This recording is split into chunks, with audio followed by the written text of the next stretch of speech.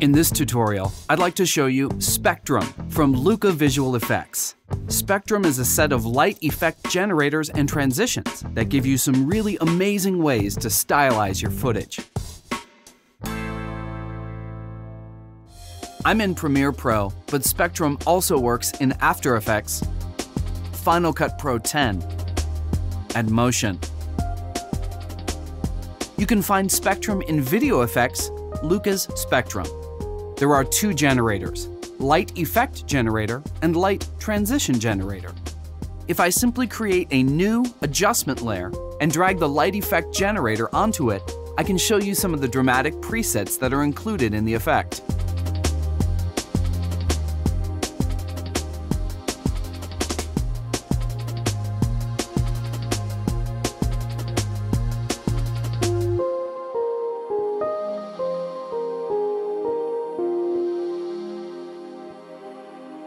I like this preset called Starlight. We could use this as a standalone background for some graphics, but I'd like to use it to stylize some footage. I'll move the adjustment layer to a track above my first clip, as I'd like to composite them together. For the final result, I'll use a blend mode so we can see the underlying clip. But for now, I'll show you all the options you get in this generator in the parameters. First off, there are two powerful ways to customize the effect the source image, and additional effects drop-down menus.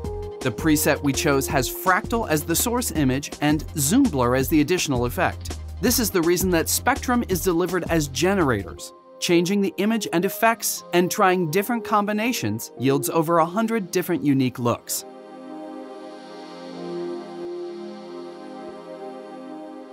I'll jump down to the various controls and tweak the speed of the animation and the amount of glow. Additionally, we have picture controls such as brightness, contrast, exposure, and saturation. I'll use the color picker to push the color more toward a warm, sunny yellow. When you're compositing with these generators, as opposed to creating backgrounds, you can check the Composite on Original checkbox and then adjust the opacity.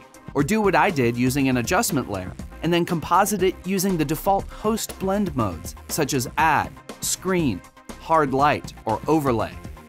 For this example, I like the Overlay blend mode. Because we can customize this effect in so many ways, I recommend saving a preset when you create something you like. Finally, I'll go to the on-screen controls and animate the zoom center dot to roughly follow the sun's path through the sky in the time lapse. This will make the rays wash across for a great effect.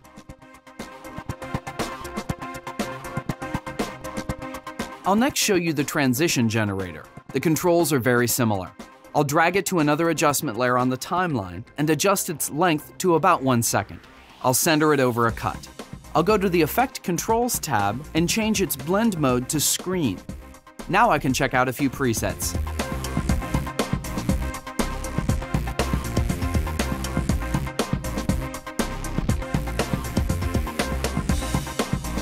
I love this preset, Prismatic Curtain.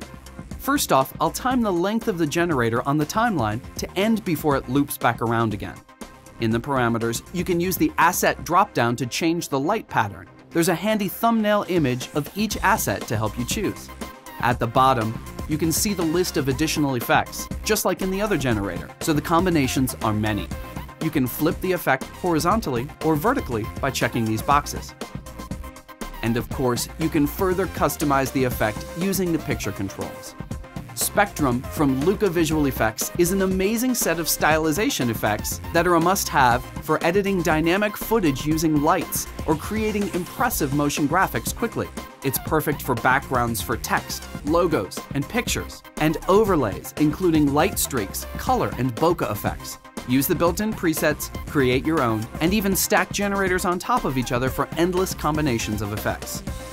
FX Factory offers a huge selection of great effects, and if you don't have them yet, I suggest you go try them out at fxfactory.com.